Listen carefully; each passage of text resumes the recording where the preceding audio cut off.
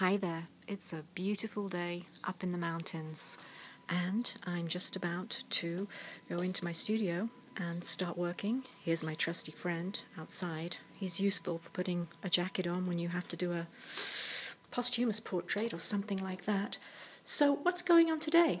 Well, I've got lots of stuff on, on and off easel. Uh, these are some corset paintings I've been working on with gold leaf I'm hoping to have these all ready for a show in February.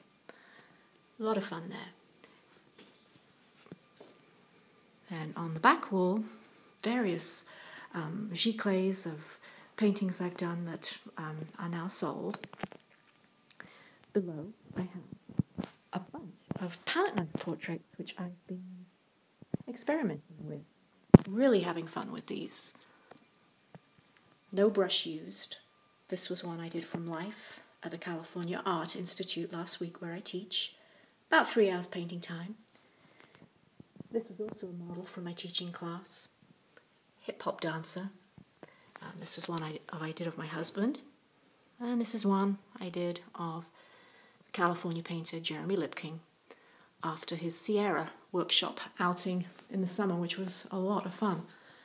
So if I scroll around the studio, various portrait commissions in end stage, finishing stage, beginning stage.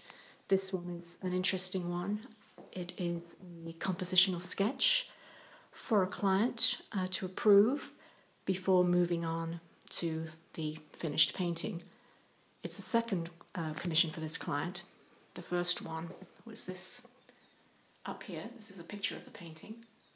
And um, really enjoyed painting that one. It was a interesting commission. Eleven nieces and nephews of a family put in a painting scene, and the client wants the same idea here, but the family's now increased to fourteen, I think. Uh, the color palette will be the same, orange and blue. Over here with my triptych, I'm using a palette of yellow and purple.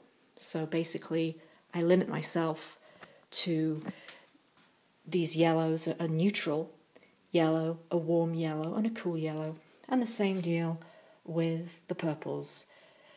You know, a neutral, a, a cooler purple, a neutral purple, and a warmer purple. A lot of fun to, to do it that way. I have over here inspirational portrait done by Everett Raymond Kinstler, um, who I've studied with for quite a few years. This is a, a portrait he did of William Draper, a famous portrait painter now, unfortunately deceased. But uh, I love having stuff in my studio that really inspires me. And right down below, I have um, this new catalogue I just found um, about one of my very, very favorite painters, Philip de Laszlo. So I have that up there to just really, you know, improve my game, reach a different level. And this is a very treasured studio item, Philip de Laszlo's National Gallery Guide, which my girlfriend found for me in a Scottish store, believe it or not, and it is inscribed to Uncle Philip from his niece Constance, Christmas 1918.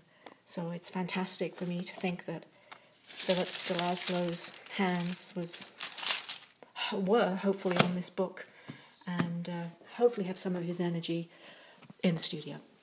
Up here, I have a picture of me and my Face of Ventura project. All these sitters were painted from life in a single one and a half hour sitting, now in the permanent collection of the Museum of Ventura County. I'm doing the same project now with a different newspaper in a different town, the town of Malibu, with the Malibu Times. So, to view more of my work and my still lifes, portrait commissions, landscapes, please visit my website at www.johannaspinks.com. That's it for now. Bye.